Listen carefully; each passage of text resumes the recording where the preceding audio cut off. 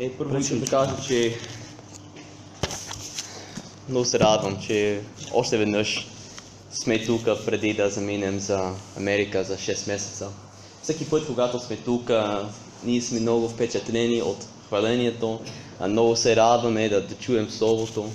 И макар, макар и да ни е трудно да разделим, се утешавам със знанието, че когато заживеем в Шумен, ще се виждаме доста по-често и нямаме търпение за, за това време. Днес говорим за протестантската реформация, за само благодат и говорим малко за живота на, на този, а, а, го, отново, за този красив мъж. Разбрахме, че Мартин Лутер стана вярващ през 1513 година. И през 1517 година той приковава своите 95 оплаквания, които има срещу папата, към вратата на църквата, университета. И в продължение на следващите 4 години, взаимоотношенията му с папата стават все по-сложни. Лутер продължава да, да пише и да проповядва, че спасението идва само чрез вяра и не чрез купуването на индулгенции. Най-после през 1521 година Лутер застава пред царя на тогавашната а, римска империя, свята Римска империя в опит да защити вярванията си. Въпреки, че той успешно и ясно ус, ус, а, успява да се защити, той бива отлъчен от католическата църква, избягва в един замък, където живее в продължение на следващата година. Но в рамките на тази една година, той започва да работи върху нещото, което всъщност се превръща в най-важната задача на живота му. Тоест, превеждането на Новия Завет от старогръцки на тогавашния немски език. Той завършва превода а, на Стария Завет след още 14 години. Благодарение на новата прес на Гутенберг, все повече хора имат достъп до Библията и много хора приемат Христос. Според мен едно от най-важните постижения, на което и да говорим език, е да има собствен превод на Библията. И аз съм толкова благодарен, че в България има няколко прекрасни преводи на Библията. И съм благодарен, че в Църкви Нов Живот изучаваме Божието Слово по разбираем съвременен български язик. Благодарение на Лутер, германците придобават тази привилегия. След още няколко години, Лутер се оженва за една бивша монахиня, която се казва Катерина. И това пренебрегва стария обичай, спред който свещениците нямат право да се женят. Лутер осъзнава, че тази забрана не е в Библията и затова решава да не я спазва. И аз лично съм много благодарен за тази негова постъпка и за промяната, която тя довежда със себе си. На Мартин и Катерина им се раждат шест деца, четири от които изживяват действото си. След сватбата си Лутер се захваща с оформяването на новото вероисповедание лютеранство.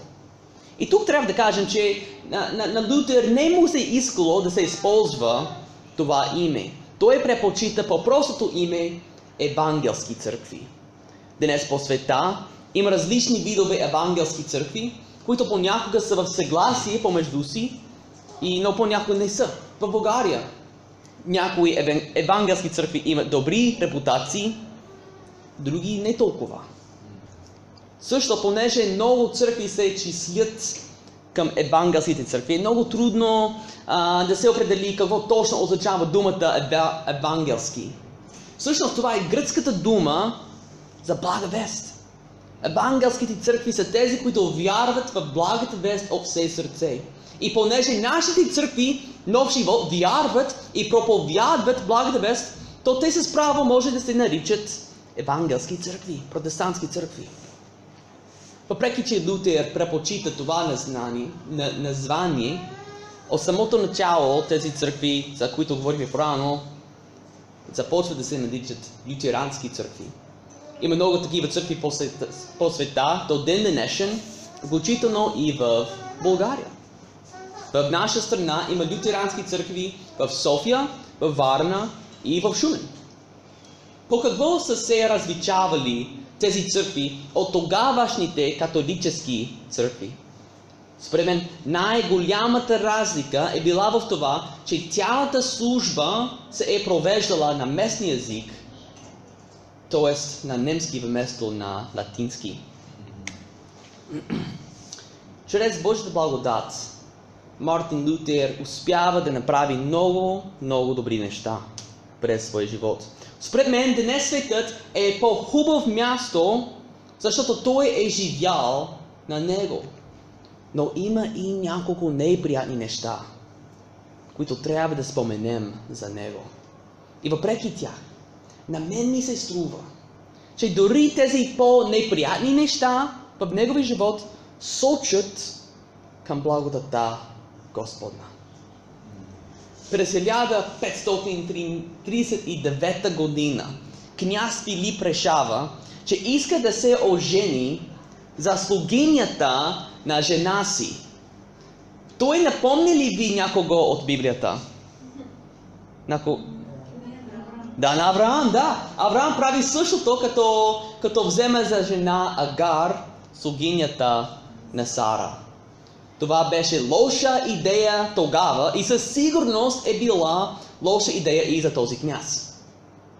Князът поисква благословията на Лутер. И, и Лутер по принцип не подкрепя този брак, но казва на княза, че ако наистина иска да се ожени отново, ще трябва да се ожени тайно.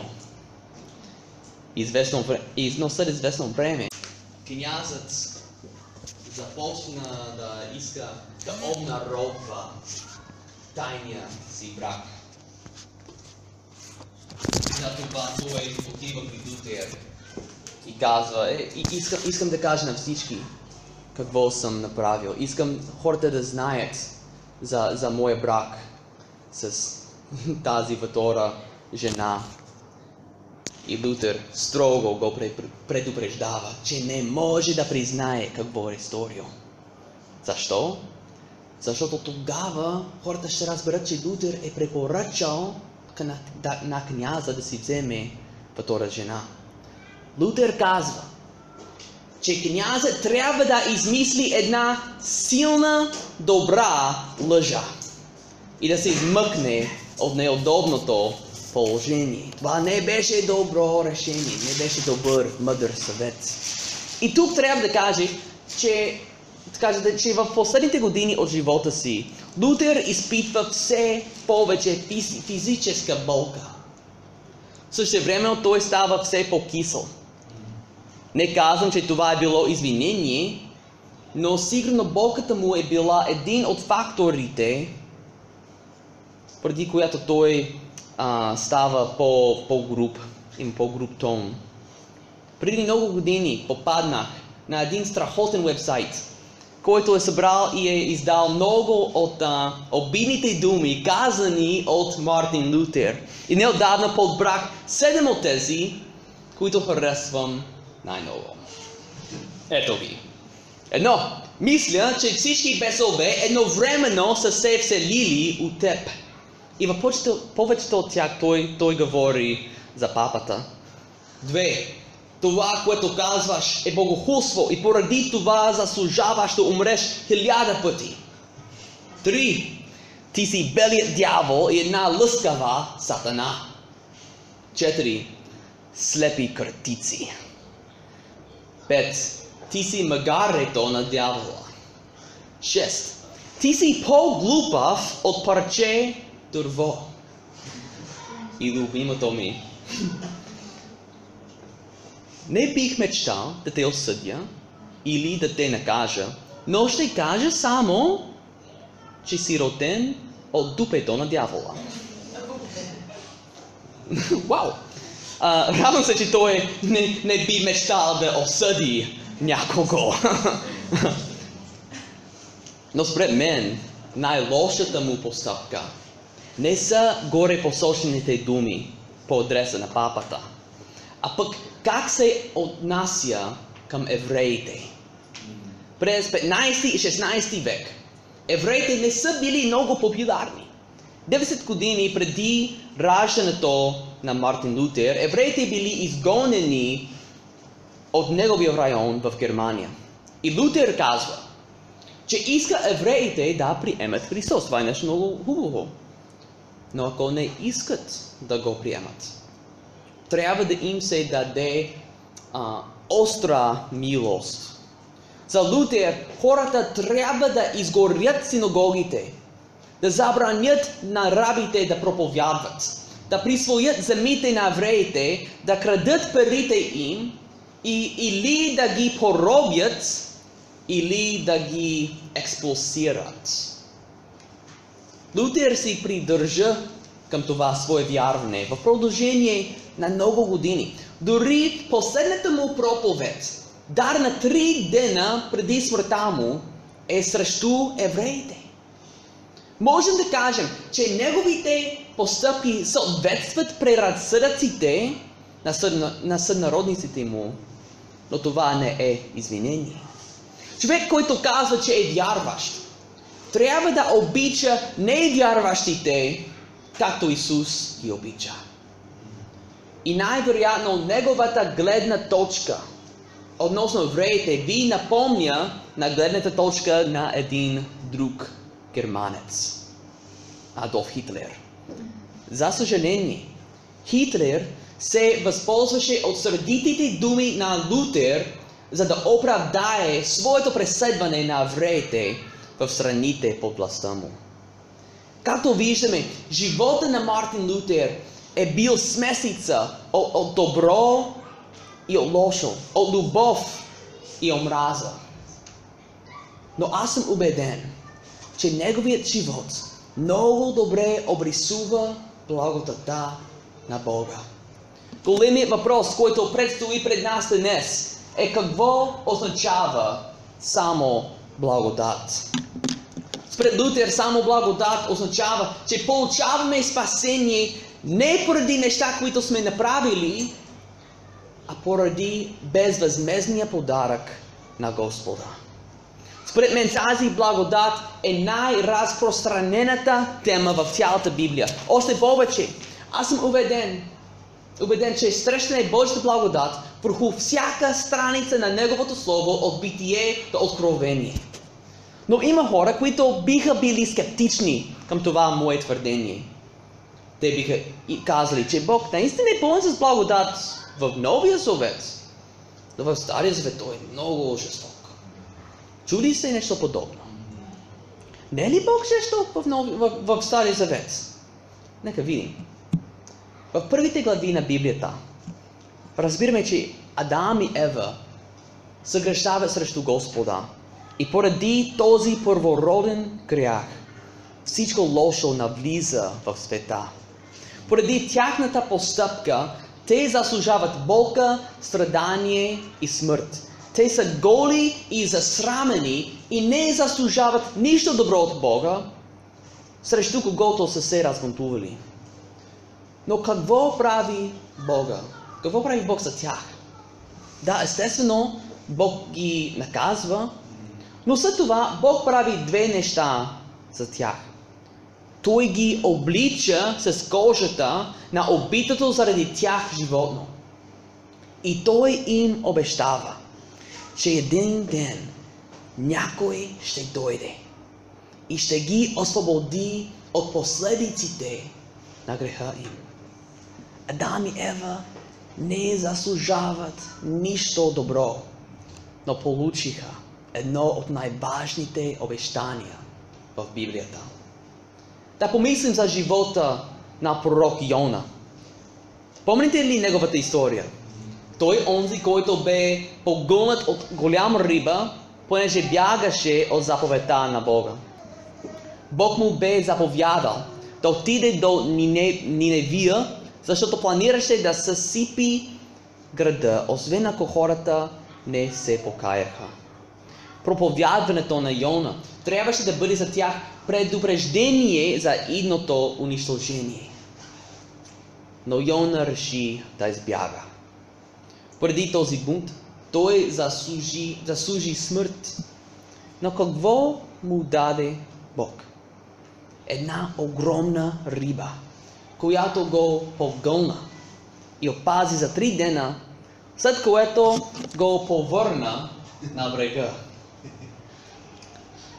Това е благодат. и Йона пристига в Ниневия и искаше Бог да, да, а, да той, той пристигна и проповядва за яростта на Бога. Хората силно се побояха от неговите думи и се обърнаха към Господа. Но имаше проблем. Йона намрази жителите на Ниневия и искаше Бог да ги убие. И тъй като нямаше огън и жупел в небето, Йона се ядоса спрямо Господа. В Йона 4.2 четем. Йона се помоли на Господа. О, Господи, не беше ли това, което казах? Още когато бях в отечеството си. Това беше причината, заради която избързах да избягам в Тарсис. Защото знаех, че, ти, че, че си Бог жалостив и милосърден, дълго търпелив и много милостив. Като че ли Йона казва, Боже, винаги правиш това. Искам да убиеш моите врагове. Но ти все се смиляваш на тях. Ето заради това не искам да дойда въобще на това място. Това е благодат. В пустинята израелтяните направиха много глупави неща. В една от главите от Стария Завет четем, че израелтяните бяха обесърчени, задето Мойсе беше извън лагера за цели 40 дена. И какво направиха? Те създадоха си златно теле и се поклониха на него. Казаха, този е Богът Израел, който те изведе от египетската земя. Глупости. Бог бе готов изтреби целия лагер. Но вместо това, реши да прояви милост спрямо тях. Впоследствие Бог казва за себе си, Господ, Господ, Бог жалостив и мил, милосърден, дълго търпелив, който изобилства с милост и вярност, който показва милост към хиляди поколения, прощава беззаконие, престъпление и грях. Благодат. Благодата на Бог се вижда ясно на всяка страница на Библията, ако знаеш как изглежда тя не само се вижда на всяка страница, но тя също се изпитва от всеки човек по света. Една реч, изречена от Павел, хубаво описва това понятие. Тя се намира в Деяние 17 от 23 до 28. И нека заедно да прочетем тези стихове. Павел казва, защото като минавах и разглеждах предметите, на които се кланяте, Намерих един жертвник, на който беше написано на непознатия Бог. Тук му онзи, на когото се кланите, без да го познавате, ви проповядвам аз. Бог, който е направил света и всичко, което е в него, като е господар на небето и на земята, не е обитава във ръкотворни храмове, нито са му потребни служения от човешки ръце, като че ли има нужда от нещо, понеже Той сам дал на всички и живот, и дишане, и всичко. Направил е от една кръв всички човешки народи да живеят по по цялото лице на земята, като им е определил отнапред положени времена и пределите на заселището им, за да търсят Бога.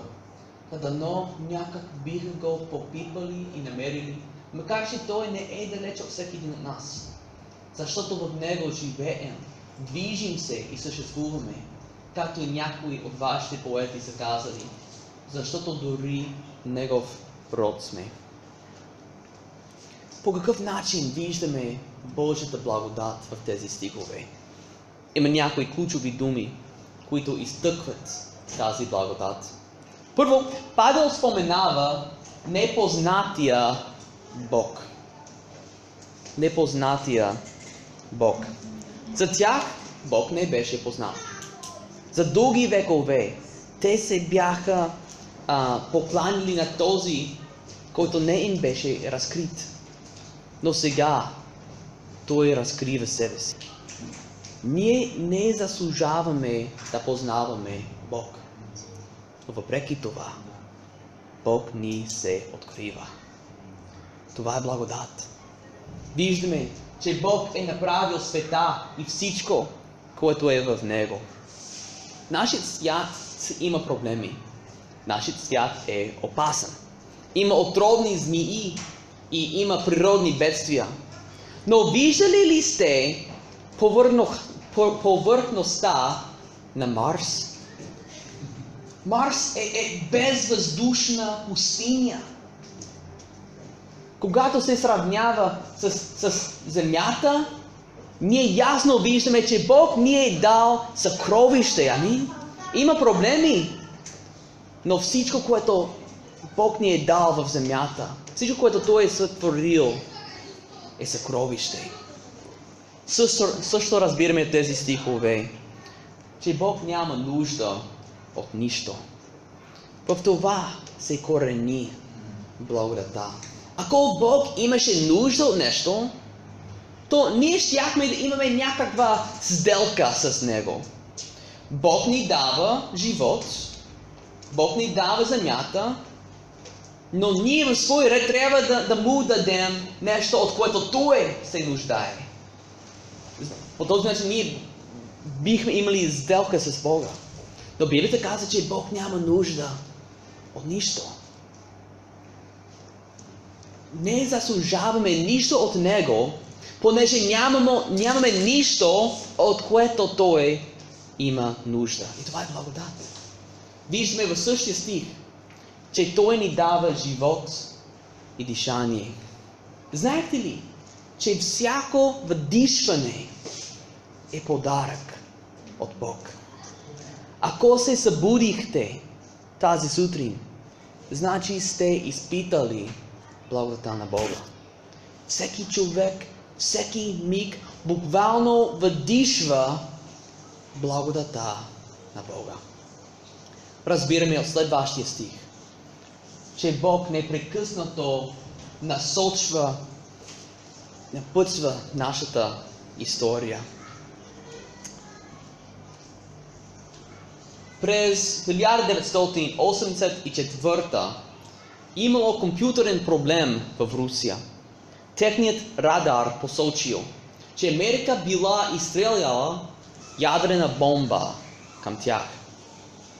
Съответно, руснаците са, приго... са приготвили да изстрелят няколко бомби към въображаемия нападател.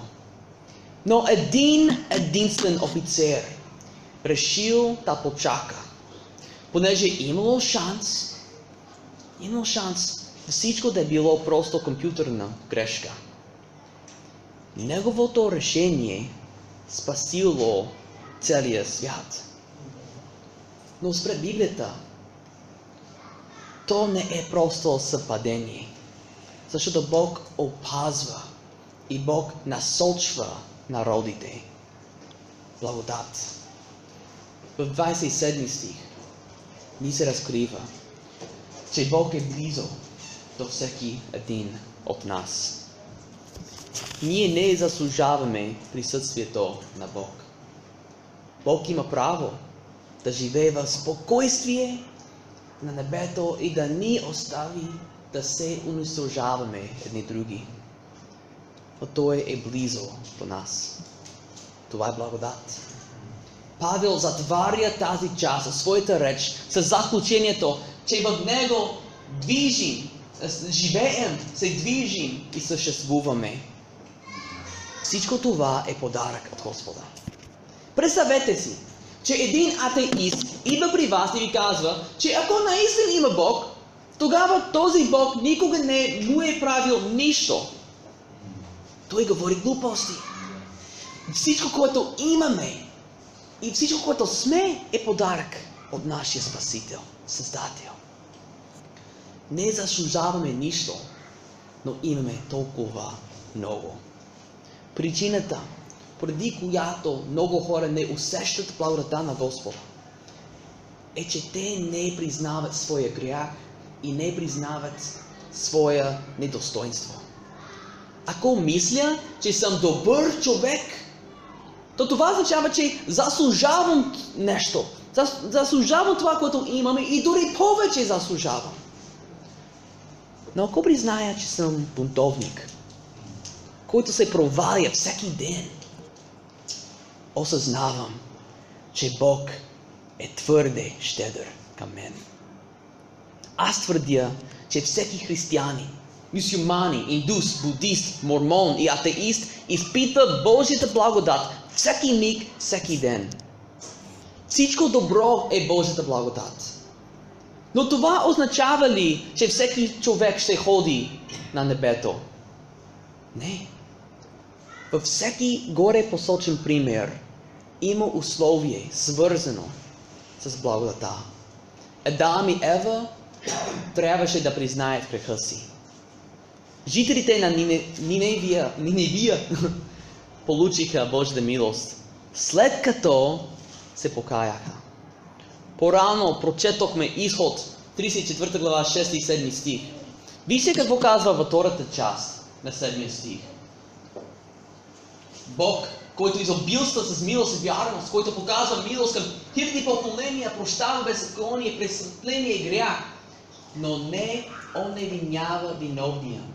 Въздава беззаконието на бащите върху децата и върху внуците им до третото и до четвъртото поколение.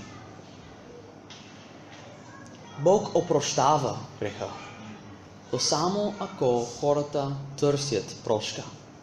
В своята реч в Деяние 17 глава Павел казва, а Бог, без да държи сметка за времената на невежеството, сега заповядва на всички човеци навсякъде да се покаят. Всеки човек изпитва Божията благодат. Но небето принадлежи само на тези, които се уповават на Исус Христос. За вярващите, моето единствено предизвикателство е да признаем кои сме. Вярвам, че, че не можем да разберем благодата на Бога, без да разберем греха. Но спред мен, ние разбираме своя грях по-добре тогава, когато опознаваме кой е Исус Христос. Когато виждаме Неговата святост и когато виждаме кои сме всъщност грешни, разбираме все по-добре Божията благодат. Според мен, когато за пръв път се уповаваме на Исус Христос, имаме някакво разбиране за своята грешност и, и, и разбираме нещо за святостта на Господа. Все едно, а, синята точка е, е святостта на Бог и червената, червената точка долу е нашето достоинство. И разбираме, когато за първ път се уповаваме на Исус, че, че кръста, смъртта и възкресението на нашия Господ Исус Христос покрива пропаста. Но както когато опознаваме Исус, когато все по-добре разберем кои сме, поне аз разбирам за себе си, че аз съм по-лош човек, отколкото си мислих преди. Когато четем повече от Божието Слово, разберем по-добре кои сме и разбираме, че, всъщност нашето достоинство нямаме никакво достоинство. И както четем Библията, както опознаваме Исус Христос, както прекарваме време с Божите хора в църквата, разберем все по-добре колко, колко свят е нашия Господ. Когато аз бях на 8 години и за първ път признах греха си, за първ път положих вярата си в Исус, разбрах някои неща за Него. Но сега по-добре разбирам кой е Той. Разбирам, че аз не съм достоен. Дори съм по-лош, отколкото мислих. И е също разбирам, че Бог е по-добре, отколкото мислих. Но когато осъзнаваме тези две неща, знаете ли какво се случва? Виждаме, че кръста на нашия Господ е по-велик, отколкото разбрахме преди. Това е Божия благодат. Ето защо проповядваме за греха. Ето защо проповядваме за, за святостта на Господа. Понеже когато разбираме тези неща, ние сме по-удивени от Исус Христос. Понеже най-после разбираме до по-известна степен колко велик е Той. Е колко, колко изумяващо е, е Неговата благодат. Благодата на Бог е това. Макар, че не заслужаваме обич, ние сме обичани. Макар, че сме бунтовници, ние сме простени. Макар, че не заслужаваме нищо отгоре, ние сме живи и здрави. И макар, че заслужаваме вечна смърт, Бог ни е обещал вечен живот. Тази благодат се вижда ясно в живота на Мартин Лутер. Понеже Бог го използва да благослови света, въпреки че Лутер е допускал много грешки. И ако си тук и никога не си се уповавал на Исус Христос, искам да знаеш, че Бог те обича. Той те обича, но няма да те си, освен ако имаш вяра в Него. Трябва да изповядваш, че си грешник и трябва да положиш вярата си в Него, в Неговата личност. Твоята прошка беше изкупена от, на кръста, когато Исус умря за теб и за всички нас. И твой нов живот бе осигурен, когато Исус възкръсна от смъртта. И Библията казва, че щом положиш вярата си в Него, ще получиш най-великият дар на света. Благодата. Нека да се помолим. Господи наш, разбираме малко по-добре кой си Ти и кои сме ние. И Господи, виждаме в страниците на Твоето Слово, че Ти си Бог милостив, жалостив и Ти си дълго търпелив. И Господи, помогни ни да разберем какво означава кръста. Помогни ни да, да, да виждаме ясно всеки миг, всеки ден Твоята благодат. И помогни ни да сме благодарни.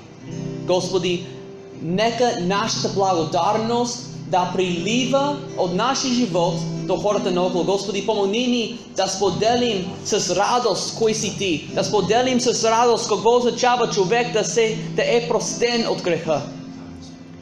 Господи, помогни ни да бъдем вярващи, които ревностно се отблагодарят на Тебе. Господи, благодари, благодарим Ти за Твоето велико спасение и за Твоята необяснима благодат. Насочвай сърцата ни към, към себе си, Господи. В името на Исус се молим. Амин.